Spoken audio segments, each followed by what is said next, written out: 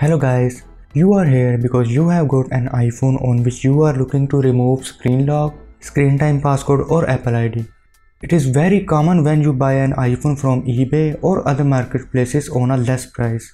Someone else's Apple ID or passcode is logged on on your device and you cannot use it. So in this video, I will show you how you can remove the screen time passcode. As you know guys, Apple's OS is the most secured OS in the world right now. Whether it's iOS or macOS, you just cannot remove logged stuff easily, but I got a solution for you. I will use the WooTechy iDelock software to remove screen time passcode. It's an all-in-one tool to remove various iDevice locks.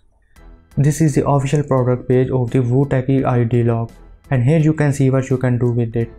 You can remove various iDevice logs, Apple ID, screen logs, screen time and restrictions. You can also remove the MDM mobile device management with just 3 clicks.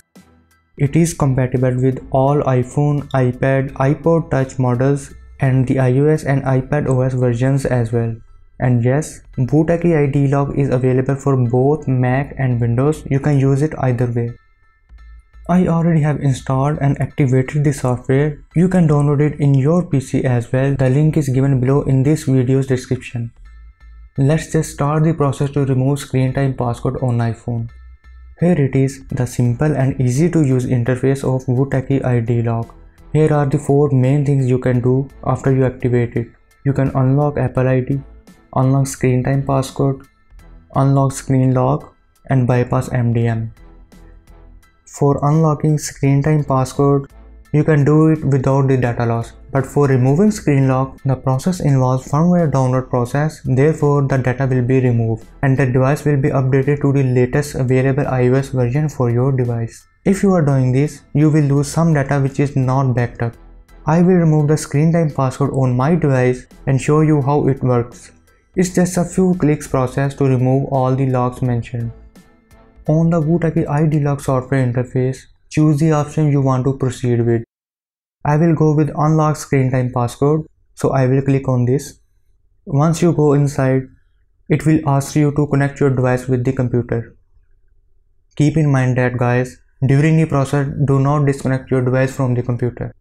Once the device is connected, choose the option according to your device. I will select set directly on device.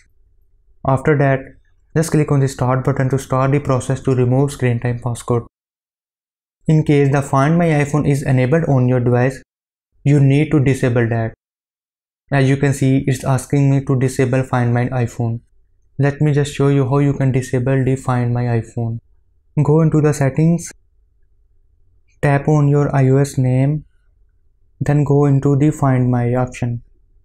Here you can see the find my iPhone option is enabled so I need to disable it to proceed. Now tap on the find my iPhone option and turn off this. It will ask you to authenticate your Apple ID. So put in the password and tap on the turn off. The find my iPhone will be disabled. As you can see on my device, the find my iPhone is disabled now. Just click on the continue on your PC and the process will start. It's just going through the process Hello guys, if you have made this far in this video and you are enjoying this video, hit the like button. That way YouTube will push my video to the other people as well and also hit the subscribe button for more iOS related videos. As you can see guys, the unlock process is done. I have removed the screen time passcode on my device. Device will restart now and you need to go through the device's setup. While going through the process, you need to choose these two options.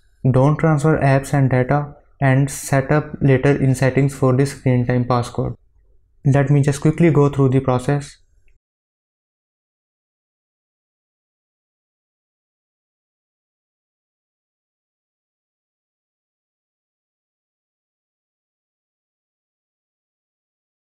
and I will show you that the screen time passcode is removed and all the data is in my device.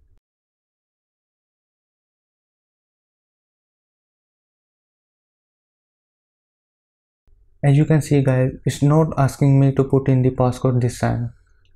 If you have got any question, do leave a comment below. Thank you for watching.